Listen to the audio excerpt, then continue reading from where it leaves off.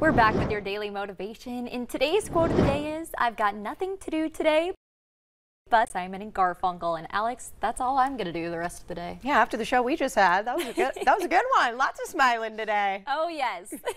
well, thank you for joining us this morning. We've got a big show in Manitoba with Ashlyn and Sophia happening tomorrow morning. But until then, see ya.